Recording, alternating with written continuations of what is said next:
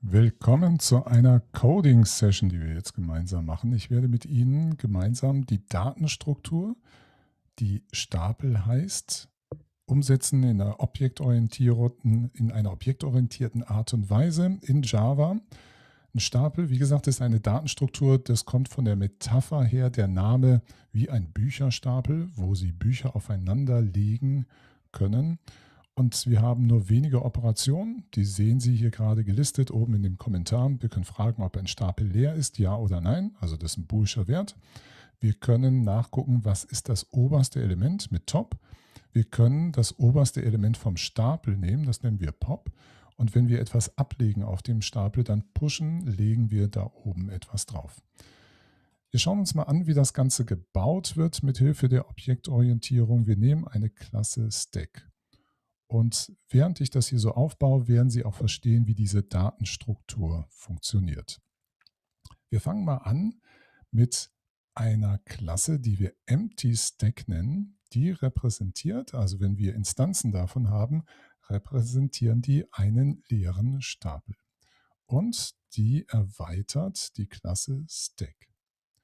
Und dann haben wir noch eine weitere Klasse. Das ist dann Class Stack with Elements. Also wir unterscheiden sozusagen die Aufsatzfläche, das ist Empty Stack.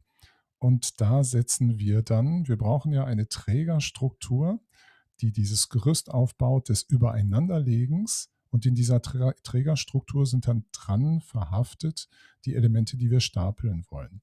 Wir werden das hier mit ganz normalen Zahlen machen, damit es einfach und anschaulich bleibt. Also wir haben zwei Klassen, Unterklassen, die jeweils von der Oberklasse Stapel erben. Um damit auszudrücken, Empty Stack ist eigentlich auch ein Stack und Stack with Elements ist auch ein Stapel. Wie ist das jetzt mit der Frage, bist du leer? Das ist eine boolsche Methode, ist empty. Die ist natürlich für einen leeren Stapel, ist die selbstverständlich true.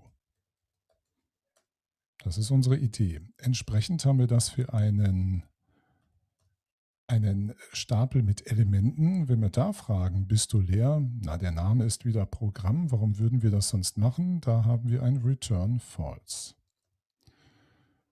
Das können wir, wenn Sie wollen, sich jetzt schon mal anschauen. Wir öffnen diese Klasse Stack. Übrigens gibt es schon in Java eine Klasse, die Stack heißt, die wir jetzt gerade damit überschreiben. Und wir können jetzt New Empty Stack machen. Komm. Empty Stack. Das ist jetzt unsere Dollar 4 und wenn wir jetzt is empty fragen, kommt true zurück. Und wenn wir new stack with elements machen, und das ist jetzt unsere Dollar 6 und fragen, ist empty, dann ist dieser Stapel natürlich nicht leer. Da ist jetzt noch gar nichts drauf, wir haben ja noch nichts drumherum implementiert, aber mit den Klassen haben wir schon eine Unterscheidung, wofür sind diese zwei Klassen gedacht. Auf einen Stapel etwas ablegen, das wird gemacht mit der Methode top.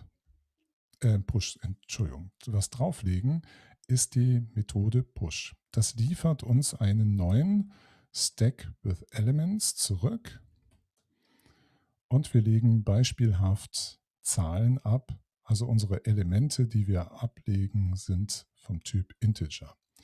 Und wie geht das jetzt, dass wir da irgendwas ablegen können? Wir müssen jetzt dafür in dieser Klasse etwas einführen.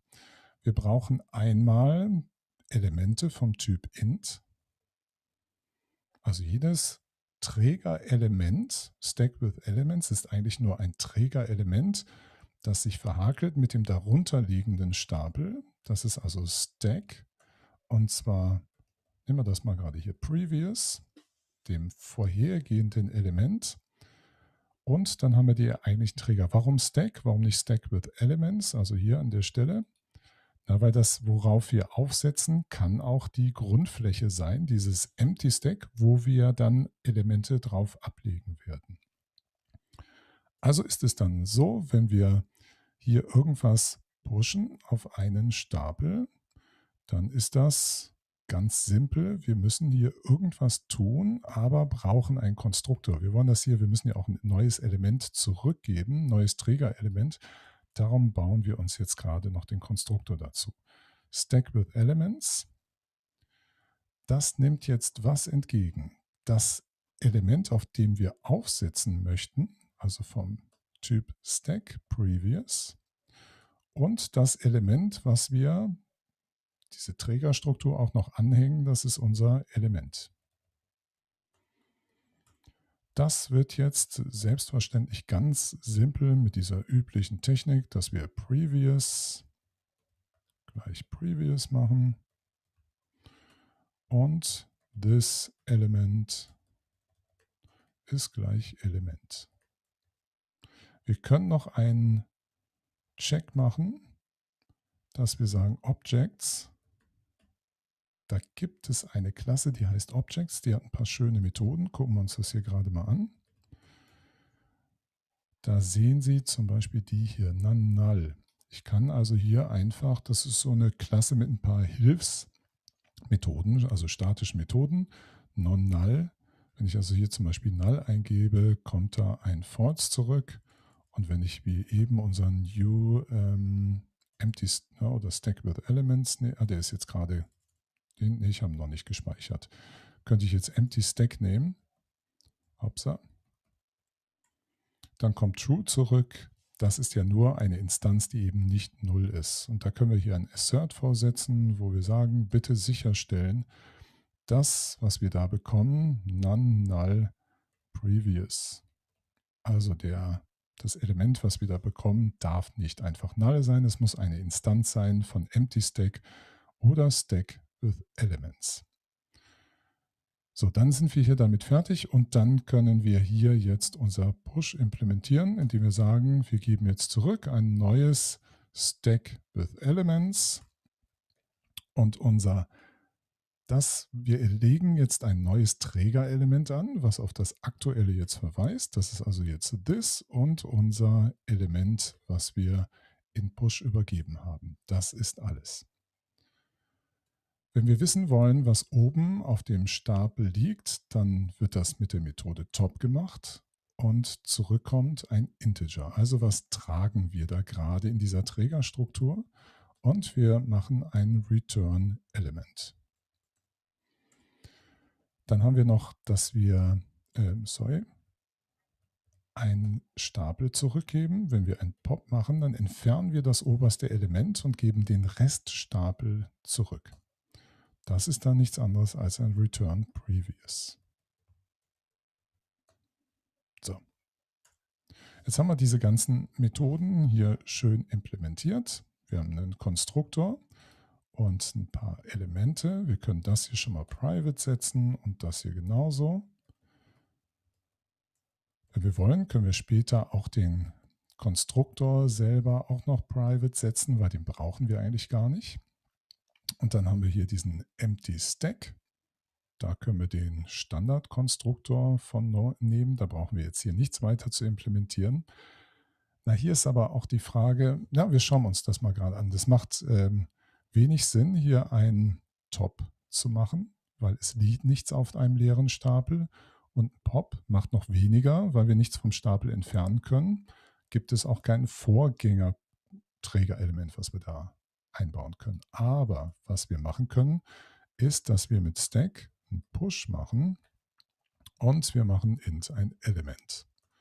Und das führt dann dazu, dass wir return Genau, rufen wir jetzt wieder den Konstruktor auf, dass wir ein Stack with Elements machen. Und wir sind wir selbst, this und unser Element wieder.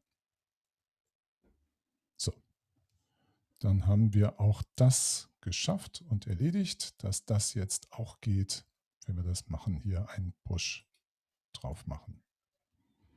Das sieht jetzt schon alles ziemlich gut aus und wir versuchen das mal zu laden, in der Hoffnung, dass wir auch keine Programmierfehler hier unterwegs gemacht haben. Doch, wir haben hier etwas verkorkst an einer Stelle. Jetzt muss ich mal gerade schauen, was da los ist.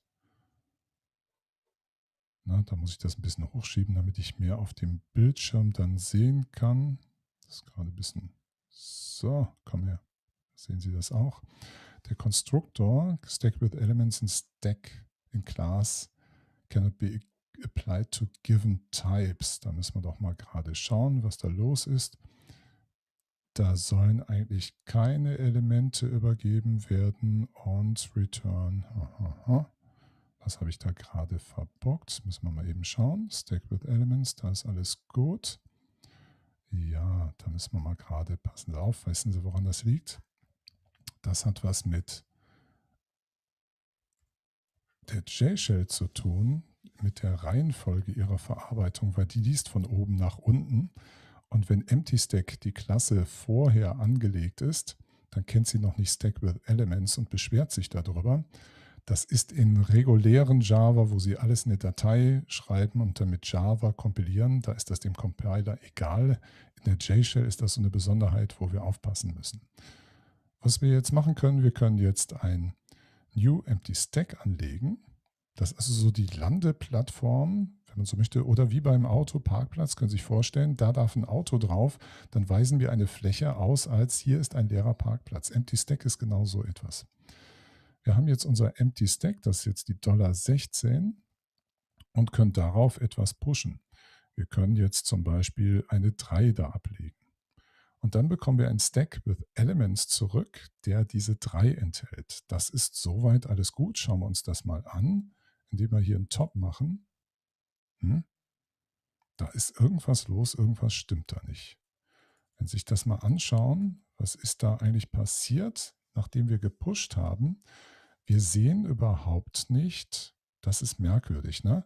Wir sehen überhaupt gar keine Methoden. Das ist ganz interessant. Wir haben hier zwar einen Stapel mit Elementen zurückbekommen, genauso sollte es ja auch sein, aber dieser Stapel mit den Elementen kennt überhaupt gar keine Methoden, außer, wenn Ihnen das vertraut sein sollte, das sind die Methoden der Oberklasse von Stack, nämlich Object. Hm, was ist da los an der Stelle? Schauen wir uns das nochmal an. Wenn wir hier ein Push machen, wir sind hier bei Empty Stack, ein Push mit einem Element, dann bekommen wir zurück einen Stapel. Ja, und das wird hier alles gemacht, der Extension-Stapel. Aber jetzt vorsichtig, wir haben hier die Objektorientierung nicht ganz sauber verstanden und angewendet. Der Grund ist, wir geben etwas vom Typ Stack zurück. Und der Compiler checkt diese ganzen Typen im Vorfeld und gucken wir uns mal an. Stack kennt überhaupt gar keine Methoden. Das sind nur die Unterklassen, die Methoden haben. Aber hier fehlt es uns komplett. Also die Klasse Oberklasse Stapel selber, Stack selber, kennt überhaupt gar keine Methoden. Darum ist es auch so, wenn wir davon etwas anlegen, dann kriegen wir auch nichts zu sehen, obwohl das vorhanden wäre. Wie könnten wir das erzwingen? Probieren wir es mal. Wir machen hier ein, ein Downcast drauf. Also wir müssen dann Stack with Elements machen.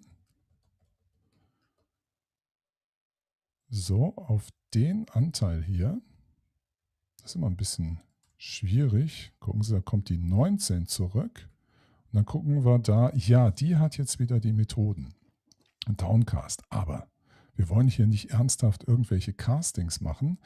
Das macht keinen Sinn, weil wir haben was mit der Objektorientierung nicht verstanden. Wir müssen zusehen, dass die ganzen Methoden hier oben irgendwie in irgendeiner Form landen und da bekannt werden. Ansonsten wird das hier alles nicht funktionieren, nicht klappen.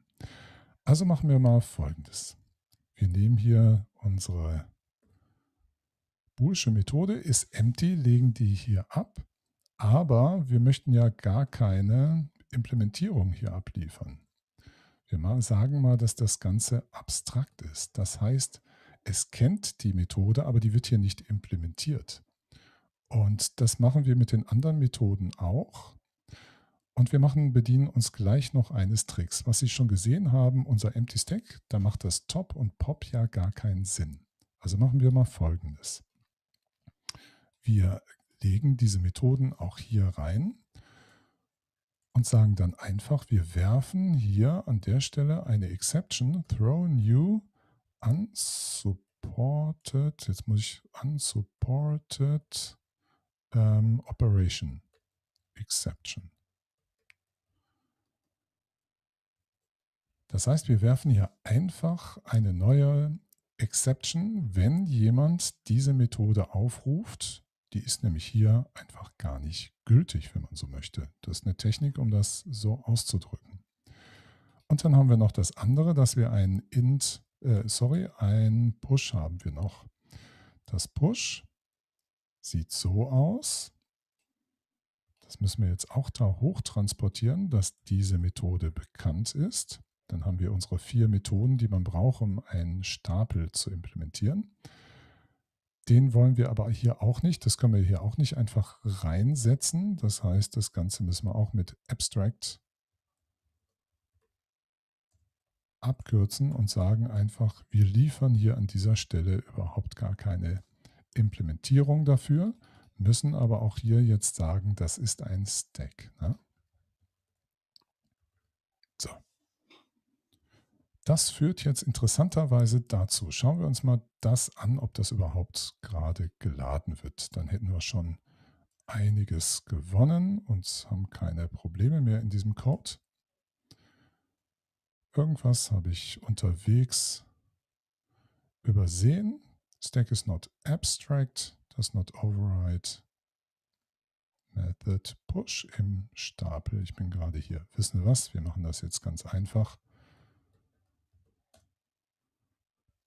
Wir müssen gar nicht, wir machen einfach das Ganze abstrakt und sagen, diese Klasse wird überhaupt gar nicht implementiert von niemandem und haben aber alle Methoden bekannt gemacht, die man so kennen muss. Und jetzt probieren wir unser Beispiel nochmal von eben. Was hatten wir da? Wir hatten unser Push und dann ein Top gemacht. Müssen wir erstmal einen neuen Stapel erzeugen und dann haben wir die 23 und pushen da eine 3 drauf und dann bekommen wir wieder Stack with Element und dann wollen wir mal gucken. Jetzt gibt es ein Top. Das können Sie gerade nicht sehen, ist hier durch mein kleines Bildchen verdeckt, aber jetzt kommen wir an das Ganze dran. Jetzt haben wir die Objektorientierung richtig gemacht. Jetzt müssen wir an keiner Stelle mehr irgendwas da verändern, äh, müssen überhaupt gar kein Casting mehr vornehmen. Das geht jetzt alles auch so. Und wir haben einen schönen Effekt. Schauen Sie sich mal Folgendes an. Wir hatten gerade unseren Empty Stack, das war die 23. Und wenn wir die 23 und da jetzt zum Beispiel ein Top machen drauf, dann bekommen wir diese Exception Unsupported Operation. Das ist genau das, was wir wollen, weil ein Empty Stack kann weder ein Top noch ein Pop machen. Das ist sehr gut, aber die Frage, bist du leer, wird korrekt beantwortet. Und das Pushen haben wir schon eben gemacht. Das sieht also sehr gut aus, was wir hier machen. Versuchen wir jetzt noch Two-String-Methoden zu ergänzen, die uns das Ganze ein bisschen optisch untermalen, damit wir besser verstehen, was da passiert. Wir machen ein Override, machen ein Public und ein String kommt zurück bei der ToString-Methode. Die wird jetzt erweitert von der Klasse Objekt. Und wir vereinbaren einfach, dass wir einen leeren Stapel so anzeigen auf die Art und Weise. Gut. Und dann machen wir hier noch eine Methode, auch Public wieder, müssen wir machen. Setzen wir gerade noch unser Override davor. String to String. So, jetzt wird es ein bisschen interessanter. Return. Was möchten wir da haben? Wir möchten jetzt in der Anzeige das oberste Element, also da können wir Top und müssen irgendwie mal gucken, wie wir das so darstellen, alles geschickt. Wir möchten gerne das untere Element auch anzeigen. Das heißt, wir machen einfach einen rekursiven Aufruf zeigen uns das an und machen hier ein Pfeil, machen wir das mal mit Spaces noch da rein und da ein Plus Top. Sowas in der Art.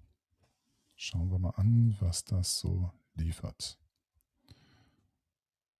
Da haben wir wieder unsere Klasse geladen. machen new empty stack. Und was bekommen wir raus? Diese Darstellung. Gut. Dann wir auf der 33 ein Push, zum Beispiel eine 3. Legen wir wieder ab. Dann bekommen wir diese Darstellung. Hätten wir da jetzt noch weiter drauf gepusht, eine 4, dann sieht das so aus. Wunderbar. Das ist genau das, was sehr schön veranschaulicht, wie ein Stapel aufgebaut ist. Und jetzt verstehen Sie vielleicht noch besser, wie unsere Klasse Stack with Elements aufgebaut ist, mit diesen zwei Elementen Previous und Element. Hier sehen Sie immer das Element, das dargestellt wird. Und das hier ist der Pfeil, wenn Sie so wollen, des Previous. Weil damit zeigen wir auf einen Stapel, den hier, wo wir eigentlich nur das oberste Element nehmen, was aber durch das Previous eine Trägerstruktur aufbaut bis zum Empty Stack, der dann eben nichts mehr hat, aber auch ein Stapel ist. Der leere Stapel ist auch ein Stapel. Würden wir also die Dollar 33, die eben unser Empty Stack war, fragen, Instance of, ups, kleingeschrieben, Stack, dann kommt ein True zurück. Und genauso ist unser das hier, Instance of Stack, ist ebenso ein Stapel. Da haben wir also jetzt schon eine sehr schöne Implementierung zu aufgesetzt, die, wichtig war, eine Oberklasse hat, Abstract heißt, die keine Implementierung anbietet, hier aber schon welche vorwegnimmt, die aber hier, ich, oder andersrum, sorry, ein Stapel Abstract, Stack, der Abstract ist, heißt, er kann selber nicht instanziert werden. Wenn wir das mal versuchen, New Stack mit dem Default-Konstruktor, geht das Ganze schief an der Stelle. Haben Sie es gesehen? Nee. Abstract cannot be instantiated. Können wir also keine Instanz von bilden. Wir brauchen das aber, um die ganzen Methoden einzuführen, die wir brauchen, um dann später hier, wenn wir mit diesen Sachen arbeiten, alles schön richtig aufzusetzen. Gucken wir uns das nochmal an. Das waren also unsere zwei Variablen, mit denen wir arbeiten. Das ist nichts anderes als unser Konstruktor, die diese Verkettung aufbaut. Unser ist empty, unser push. Wenn wir irgendwas pushen, muss das ein Stack with Elements werden. Das wissen wir schon, ne, weil wir auch diesen Konstruktor dafür aufrufen. Das Top gibt mir das Dings, das gibt mir Previous. Warum nicht Stack with Elements? Ja, aus dem einfachen Grund, weil wenn wir poppen, könnte es auch sein, dass da drunter der Empty Stack liegt. Also wenn wir das hier machen, äh, wir hatten eben die Dollar 33 und machen einen Push 5 und dann machen wir wieder einen Pop da drauf. Dann bekommen wir wieder den Empty Stack zurück. Also Empty Stack können wir jetzt hier nicht hinschreiben, sondern wir müssen die Oberklasse nehmen, so dass es entweder ein Objekt eine der Unterklassen ist, also entweder von Empty Stack oder Stack with Elements. Dann haben wir jetzt unsere Datenstruktur hier gut aufgesetzt, haben dafür gesorgt über diesen kleinen Trick, dass wir in der abstrakten Klasse schon zwei Implementierungen stehen haben, die dafür sorgen, dass eine Klasse, die die nicht implementiert, defaultmäßig, wenn man so möchte, diese Exception werfen wird und damit zum Ausdruck bringt, das sind Operationen, die ich gar nicht unterstützen kann aus meiner Perspektive. Was wollen wir uns noch dazu bauen? So eine kleine Geschichte, damit wir Stapel mit mehreren Elementen anlegen könnte, wäre schön. Das macht man gerne mit einer Methode, die heißt off, und zwar einer statischen Methode, also ist es static ähm, off. Das wird uns einen Stack with Elements zurückgeben. Und da übergeben wir eine Mehrzahl von Elementen, von Integers, also Elements. Dann legen wir einen Stack an. Stack S gleich New Empty Stack. Und auf diesen Stapel legen wir jetzt mit Hilfe einer Vorschleife die einzelnen Elemente an. Also int Element von den Elementen müssen wir jetzt jedes Mal ein S Push. Na, was müssen wir da machen? Wir müssen jetzt ein S Push und wir müssen nichts anderes machen, als das Elemente abzulegen. Und wir müssen das aktualisieren. weil wir möchten das ja dann am Schluss auch zurückgeben. Und dann machen wir das hier noch, das Return S. Dann schauen wir uns das Ganze an, ob das läuft wie gedacht. Upsa, jetzt habe ich hier irgendwas verdrückt. Hallo. Im Eifer des Gefechts bin ich jetzt auf irgendwas gekommen. Ich wollte gar keine Debugging-Sitzung. Da bin ich offenbar rübergesprungen versehentlich. Starten wir unsere Datei neu. Da habe ich irgendwas. Der cannot be converted to stack with elements. Warum? Was habe ich hier? Okay, da müssen wir dann hier aufpassen. Wir haben den Stack Machen wir hier einen Stack hin.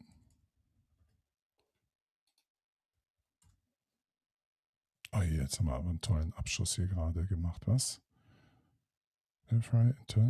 Security, boah, das habe ich auch schon lange nicht mehr gehabt, sowas. Das ist cool, oder? Das ist cool. Was habe ich denn da für einen kleinen Unsinn gerade gebaut? Da müssen wir mal eben gucken. Sehr schön, sehr schön. Gibt es noch vor eine Meldung, die er mir zurückgeliefert hat? Nee.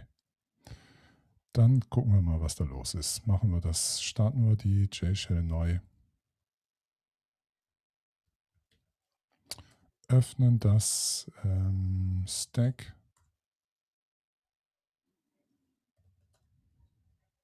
Ähm, da wollten wir gerade Stack.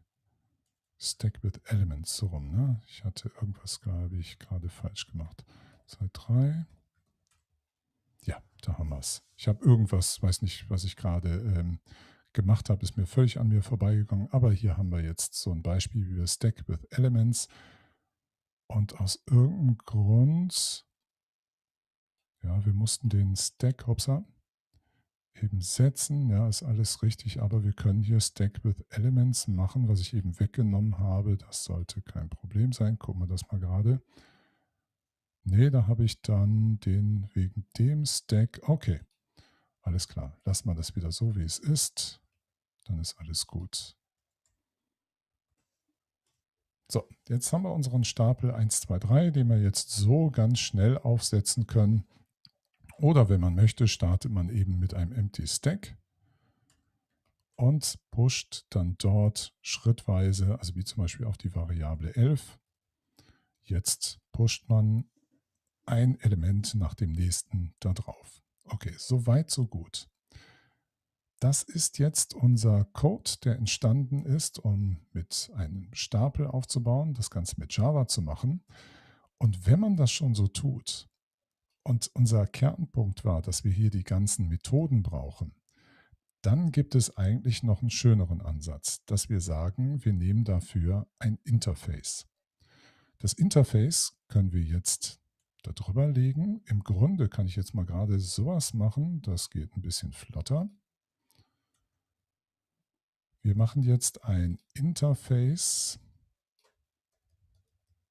und das nennen wir Stackable, also irgendwas Stapelbares. Und da sagen wir, das muss Boolsch sein. Dann haben wir diese Methode und diese Methode. Und da wollen wir gerne diese Exception, die geworfen wird. Und wir können sagen, du hast eine Default-Implementierung. Die wird einfach verwendet, wenn keine andere Implementierung dafür vorliegt. Und wenn wir das gemacht haben, dann können wir das hier alles löschen, rausnehmen und müssen jetzt natürlich noch sagen, implements stackable. Das Schöne ist jetzt, dass wir das nicht wirklich implementieren müssen, weil wir die als abstrakt bezeichnet haben, diese Klasse, und können sonst alles so beibehalten. Gerade so sieht es eigentlich aus von der Grundidee. Jetzt gucken wir mal gerade, ob unser Code läuft, ob das noch alles so geht. Na komm.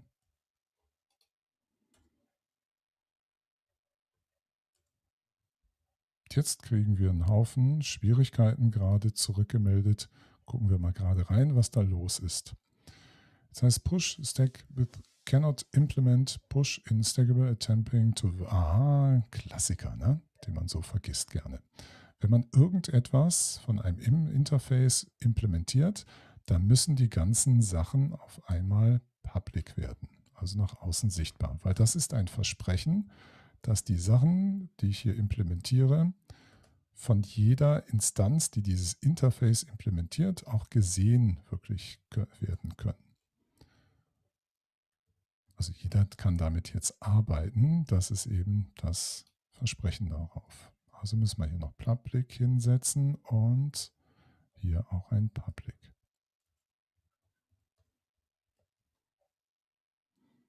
Was passiert jetzt?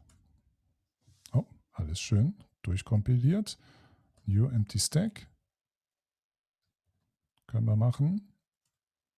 Ja, unsere 18 können wir zum Beispiel einen Push 1, können wir einen Push 2 machen, einen Push 4 und dann ein Pop. Was kommt zurück? Ein Stapel mit 1 und 2. Ne? Wir können genauso jetzt Stack with Elements machen. Das Punkt funktioniert alles noch auf 1, 2 und zum Beispiel 4 und können dann wieder das oberste entfernen und dann bekommen wir auch wieder einen solchen Stapel zurück.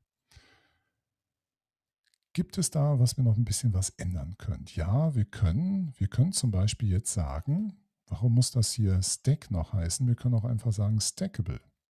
Das ist nämlich jetzt genau so ein Typ, weil wir jetzt sagen, wenn ich irgendwo ein Pop mache, diese Pop-Methode, dann bekomme ich ein, eine Instanz zurück, die dieses Interface wieder implementiert. Also auch hier ist Stackable. Und das können wir, wenn wir wollen, auch weiter durchziehen hier in der Implementierung, dass wir überall hinschreiben, dass das Stackable ist. Da brauchen wir das jetzt gerade nicht, ist nicht nötig. Übersehe ich gerade was? Ich hoffe nicht. Hier können wir dann auch sagen Stackable. Und wo haben wir noch? Stackable. Und Stackable. Und schauen wir wieder, ob das läuft. Da haben wir ein Typproblem. S gleich S-Push, wo ich eben so schön drüber hinwegging und sagte, nee, brauchen wir nicht. Machen wir das auch stackable. Und jetzt läuft wieder alles. Kleiner flotter Test. Das funktioniert jetzt auch wieder so. Ich soll, es bietet sich übrigens hin und wieder mal an, dass Sie ein Reset machen, wenn Sie zu viel geändert haben in Ihrem Code, damit sich da Sachen nicht anfangen zu, wie nennen wir das mal gerade, überlagern in der Implementierung, die Sie da umgesetzt haben. Jetzt haben wir es also noch schöner. Wir haben jetzt ein Stackable und wir haben unsere abstrakte Klasse nach wie vor und wir haben die zwei Implementierungen. Jetzt die nächste Frage, die ja auch durchaus berechtigt ist. Ist es vielleicht auch so, dass wir, ich sehe gerade, mein Bild ist eingefroren, lassen sich davon nicht stören. Ist es dann auch möglich, dass wir einfach sagen, wofür brauchen wir denn noch diese abstrakte Klasse? Ist das denn überhaupt nötig? Können wir denn dann nicht sagen, dass jedes Mal Implements stackable und auch hier? Wir schauen mal, was da passiert.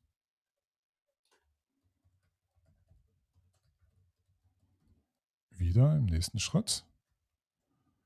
Wir laden das Ganze und kein Problem. Ja, funktioniert alles nach wie vor so, wie es soll.